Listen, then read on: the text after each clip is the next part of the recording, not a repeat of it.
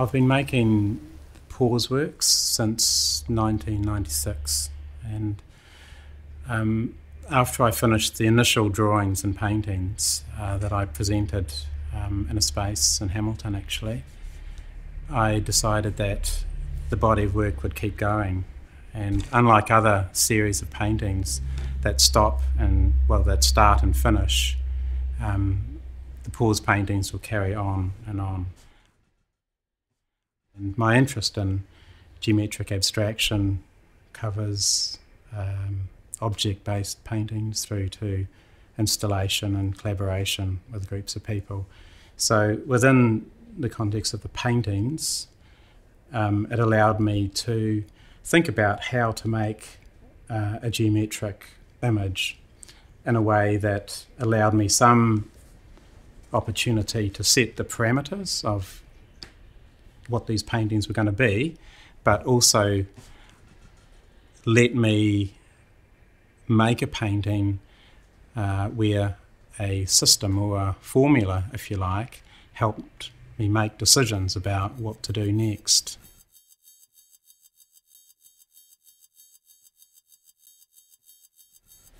Once you start making a work using a system, it uh, it unfolds itself, and I simply make the work at times. Um, and what comes out of it is often surprising.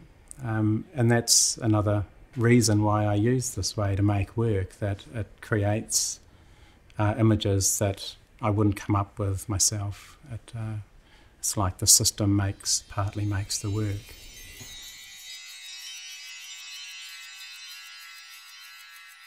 Uh, black, I don't think of it as neutral or a non-colour. Um, it's part of my interest in trying to keep the work as simple as possible. It's part of my approach to abstraction. It's a very reductive approach. I try to get less or do less um, uh, with the work. I feel they're very handmade works. When you do look closely, there's lots of material and evidence on the surface. You, know, you can see pencil marks at times Sometimes there's numbers written on the surface.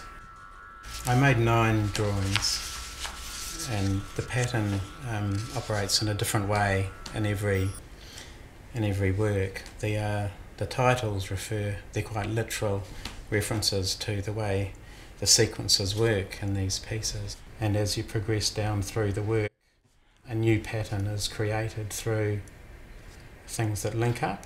So on these diagonals, similar shapes link up, some elements line up, and other things disconnect. And this is what's surprising about the work, really, that I don't know how it's going to work out.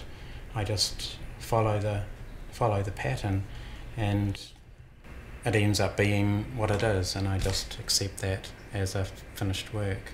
Sometimes um, error occurs, and I I choose at that time whether to accept that or not as a decision. Um, but there's a lot of um, a lot of steady action, repetitive action, measuring, which allows me to make another mark and measure and make another mark and so on.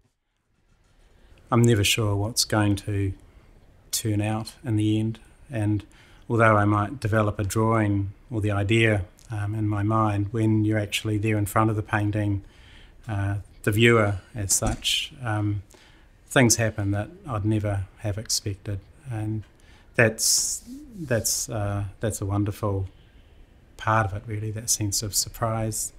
Um, the way they operate visually to the viewer is very different to how I construct them as an artist.